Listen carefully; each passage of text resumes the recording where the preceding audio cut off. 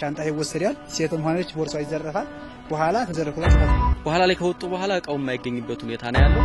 በውጭም በውስጥም ህጋዊ ሳንሆን እንሰራ ነበር። በህገ ወጦቹ ምክንያት አመፅ ተካሂዷል። መናኸሪያው ባለቤት እስካሁን ድረስ አላገኝም።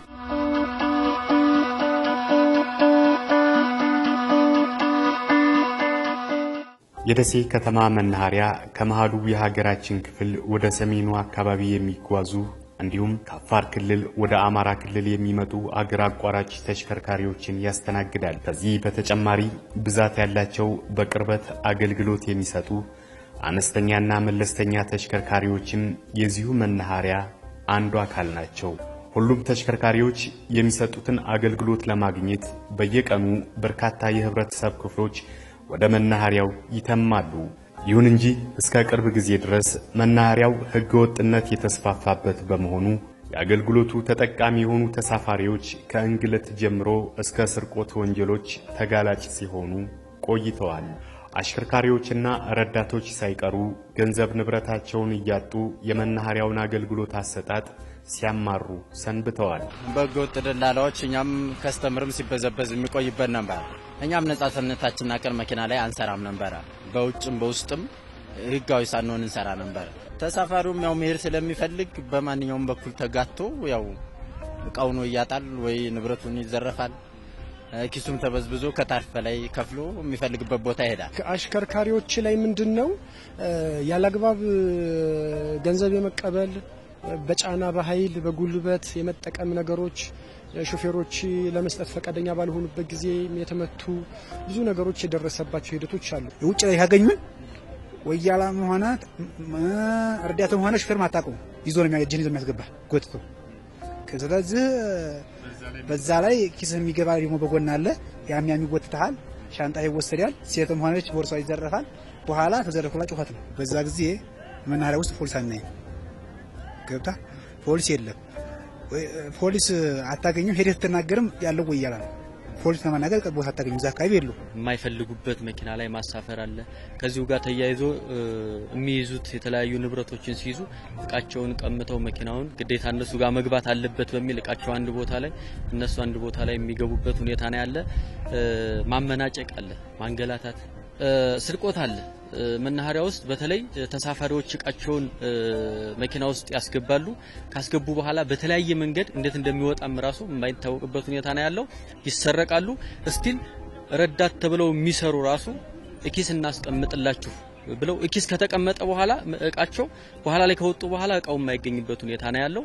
የትራንስፖርት ማህበራቶች በተለያየ ጊዜ የተለያዩ ቅሬታዎችን በጽሁፍም በቃልም የሚያቀርቡበት ሁኔታ ነበረ። ይህ ምንድን ነው? ባለሀብቶቻችን አላግባብ ክፍያ እየተጠየቁ ነው። በገቡ በወጡ ቁጥር የአስጫንበትን በሚል እየተጠየቁ ነው። አንዳንድ አካባቢዎች ላይ በተለይ ወደ በረሃ እንደዚህ ከአራት መቶ እስከ አምስት መቶ የሚጠየቁበት እንደነበር አይተናል በአንድ ጊዜ በጫኑት። ከዛ ባለፈ ደግሞ አዲስ አበባም እንደዚሁ እስከ አንድ ሺህ ብር ድረስ የሚጠየቁበት ቅርብ መንገዶች እስከ ሀምሳ ብር ምዕራብ አካባቢዎች ላይ መቶ ብር መቶ ሀምሳ ብር ወልዲያ ላይም መቶ ብር መቶ ሀምሳ ብር እና ይሄ በጣም ከፍተኛ ችግር ነበረው። ለእነዚህ ወንጀሎችና ህገወጥነት መስፋፋት ምክንያት ደግሞ መናኸሪያውን በኃላፊነት የሚመራ የመንግስት አካል አለመኖሩ ነው። የደሴ ከተማ አስተዳደርና የደቡብ ወሎ ዞን በመካከላቸው በተፈጠረ አለመግባባትና ቅንጅታዊ ስራ አለመኖር የመናኸሪያውን አገልግሎት አሰጣጥ እንዲስተጓጎል አድርጎታል። ደሴ ከተማና ደቡብ ወሎ የሚል መናኸሪያው የሚተዳደረው በደቡብ ወሎ ነው። ደሴ ከተማ ያው በቦታው ዞ ደሴ ላይ ስላለ ይሄ ችግር መገፋፋት ነበር በሁለቱ ዞኖች መካከል ላይ። መናኸሪያው ባለቤት እስካሁን ድረስ አላገኘም። ባለቤት ባለማገኘቱ ወያላዎቹ እንዲገቡ ምቹ ሁኔታ ፈጥሮላቸው ነበረ። ደቡብ ወሎ ደሴ ይፍታው፣ ደሴ ደግሞ ደቡብ ወሎ ይፍታው በሚል ምክንያታዊ ወያላ ወደ 1500 አካባቢ ገብቶ ስናስወጣው መልሶ ሲገባ ስናስወጣው መልሶ ሲገባ በመጣው ለውጥ ላይ ትንሽ የጸጥታ ኃይሉንም ይፈታተን የነበረበት ተደጋጋሚ የሆነ ለውጡ ከመጣ ጀምሮ በየወራቶች በየአመቶች ይወጣል ይገባል ይወጣል ይገባል። ችግሩ አልተቀረፈም ነበር።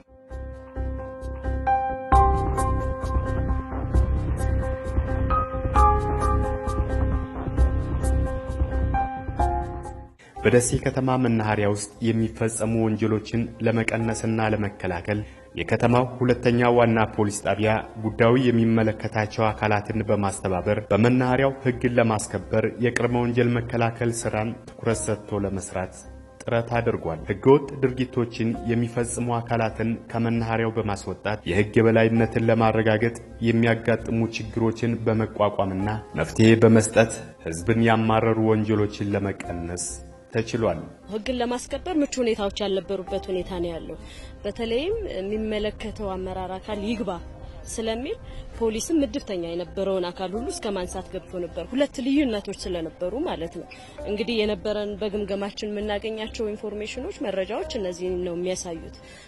ለምን አንዱ ቆይ ቆዩ ስራ አጥናቸው ይላል፣ ሌላኛው ደግሞ ህግን ማስከበር አለብኝ ይላል። በዚህ መካከል ችግሮች ነበሩና ፖሊስም ተረጋግቶ እዚህ ቦታ ላይ የመቀመጥ ሁኔታዎች አልነበሩ። ስራ አጥነን ብለው ራሳቸውን አደራጅተው ቀጥታ ነው የገቡት፣ ማንም ሳይፈቅድላቸው።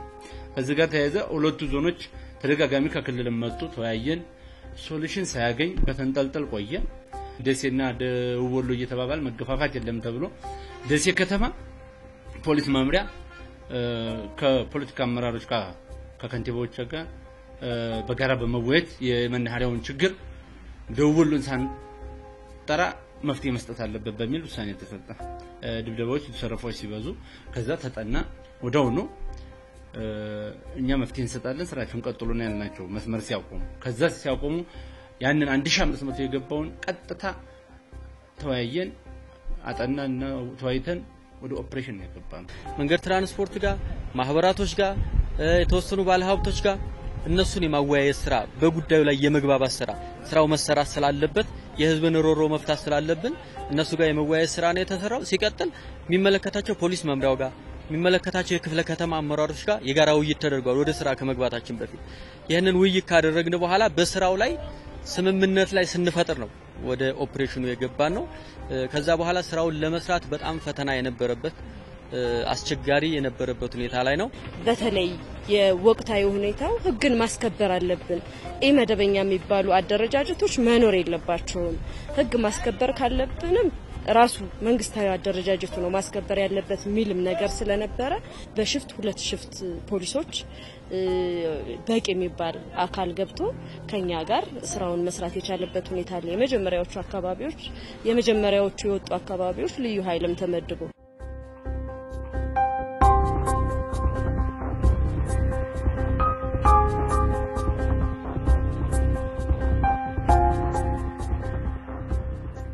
እስካሁን ማህበረሰቡና የጸጥታ አካላቱ ተጣምሮ የሚሰራበት ሰዓት አልነበረም።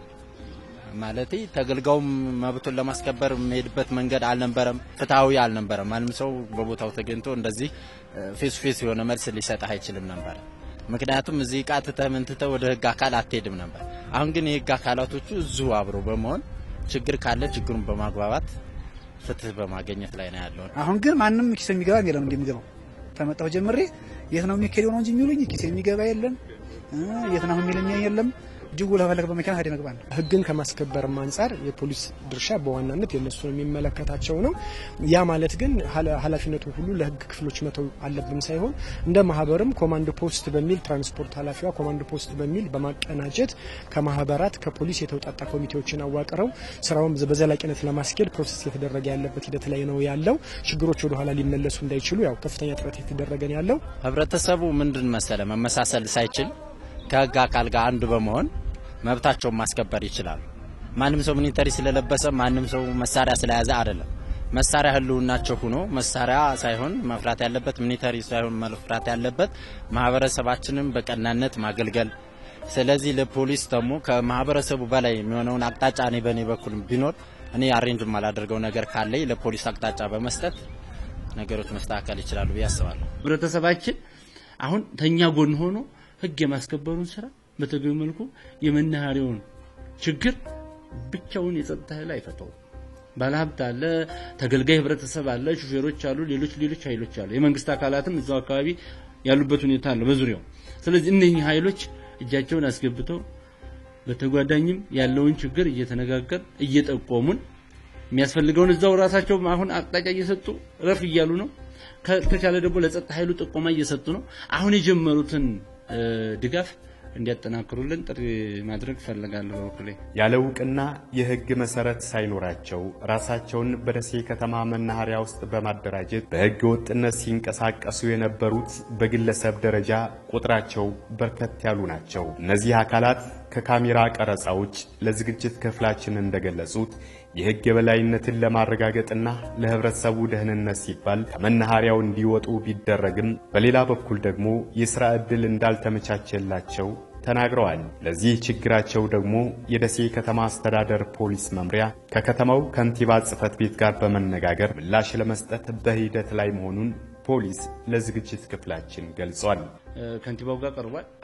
ስራ እድል እንዲፈጠርላቸው ፕሮግራም እየተወያየን ያለንበት ሁኔታ ነው። አንደኛ የስራ እድሉ በየክፍለ ከተማውና በየቀበሌው ክፍት ባሉ የስራ እድል መፍጠሪያዎች እዛ ላይ እንዲካተቱ፣ ሁለተኛ ማህበራቶች ላይ የስራ እድል ፈጠራ አንገብጋቢ የሚሆኑ እዚሁ አካባቢ ያሉ ሰዎች የትም መውደቂያ የሌላቸው እነሱም ጋር ቢሆን ማህበሮች ጋር ተቀጣሪ እንዲሆኑ እሱን የማመቻቸት ስራ እየተነጋገርን ያለንበት ሁኔታ ነው ያለው። የደሴ ከተማ መናኸሪያ በኃላፊነት እየተከታተለ የሚመራው አካል በማጣቱ ለሕገ ወጥነት መናገሻ ሆኖ እስካሁን ድረስ መቆየቱ በክልልም ደረጃ ቢሆን ትኩረት እንደተነፈገው ያመላክታል። አሁንም በመናኸሪያው የተጀመሩ ሕግን የማስከበር ስራዎች ተጠናክረው እንዲቀጥሉ የክልሉ መስተዳድርም ሆነ ጉዳዩ የሚመለከታቸው አካላት መናኸሪያውን በቅርበት በመከታተል ትኩረት ሰጥተው ለችግሮቹ መፍትሄ መስጠት እንዳለባቸው በመጠቆም ዝግጅታችንን እንቋጫለን።